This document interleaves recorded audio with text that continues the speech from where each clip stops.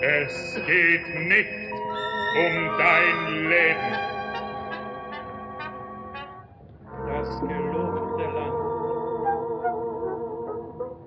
Ein Bild.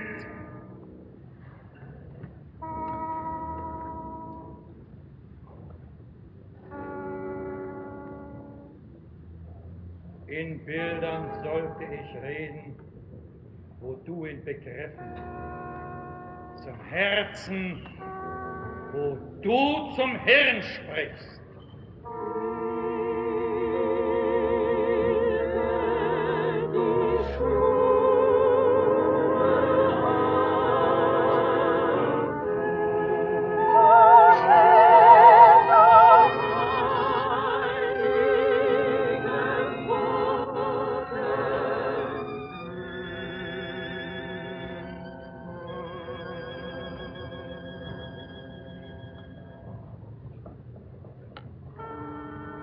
Du, dem das Wort mit dem Bild davonläuft, du weilst, lebst selbst in den Bildern, die du vorgibst fürs Volk zu erzeugen.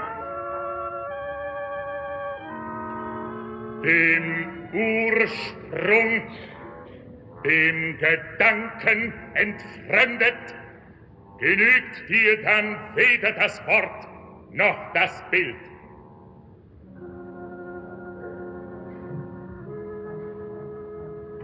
Sichtbare Wunder musste ich tun, wo das Wort und das Bild der Mund versagt.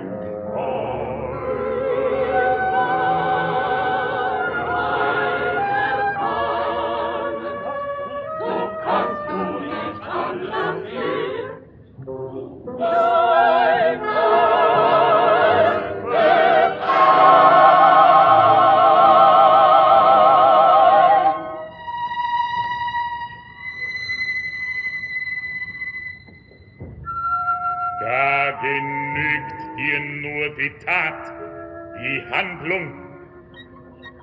Da machtest du den Staat zum Gesetz. Meine Kraft zum Befreier.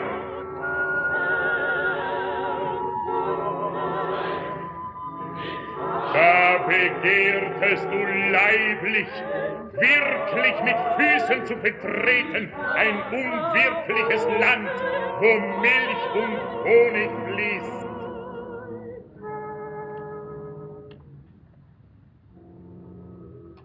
Da schlugst du auf den Felsen, statt mit ihm zu sprechen, wie dir befohlen, das Wasser aus ihm fließe.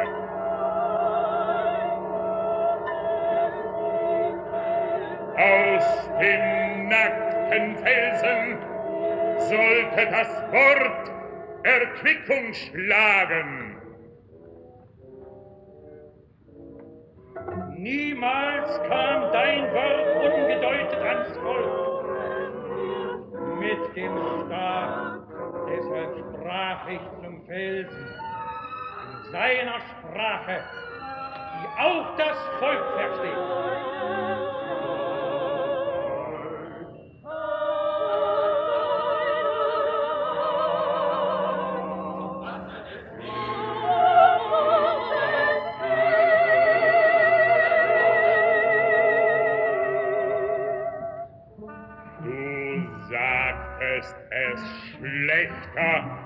Als du es verstehst. Denn du weißt, dass der Felsen ein Bild ist, wie Wüste und Dornbusch. So gewannst du das Volk nicht für den Ewigen, sondern für dich. für seine Freiheit, dass es ein Volk werde.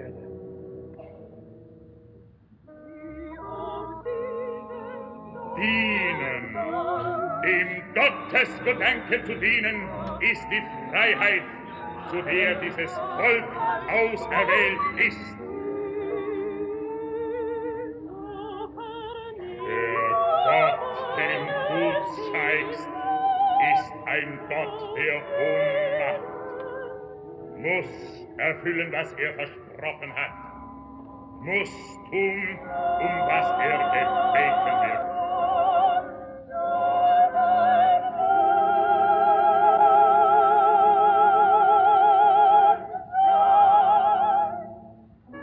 Der Allmächtige ist verpflichtet zu nichts, durch nichts gebunden.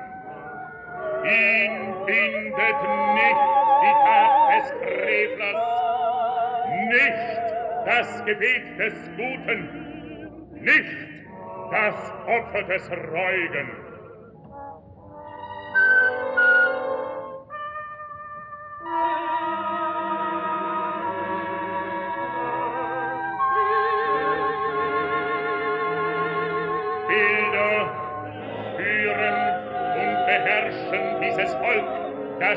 Befreitest. Und fremde Wünsche sind seine Götter und führen es zurück in die Sklaverei der Gottlosigkeit und der Genüsse.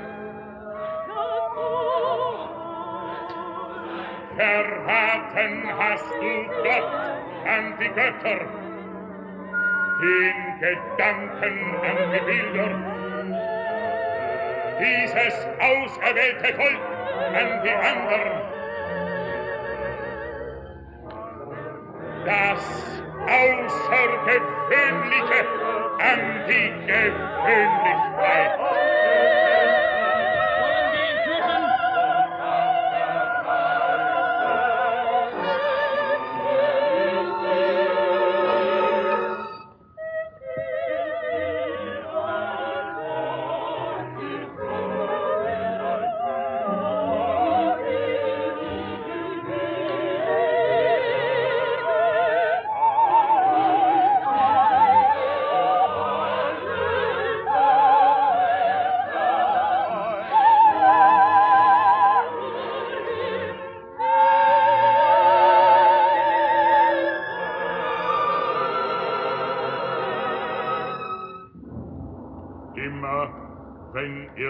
Unter die Völker mischt und verwendet eure Gaben, die zu besitzen ihr auserwählt seid, um für den Gottesgedanken zu kämpfen, und ihr verwendet eure Gaben zu falschen und nichtigen Zwecken, um im Wettbewerb mit fremden Völkern an deren niedrigen Freuden teilzunehmen, immer wenn ihr die Wunschlosigkeit der Wüste verlasst und eure Gaben euch zur höchsten Höhe geführt haben, immer werdet ihr heruntergestürzt von dem Erfolg des Missbrauches zurück in die Wüste. Gebt ihn frei, und wenn er es vermag, so lebe er.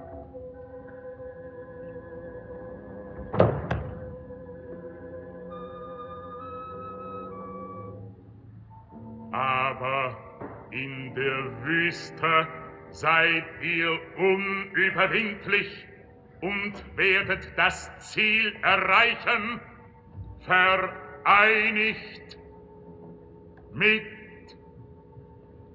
Gott.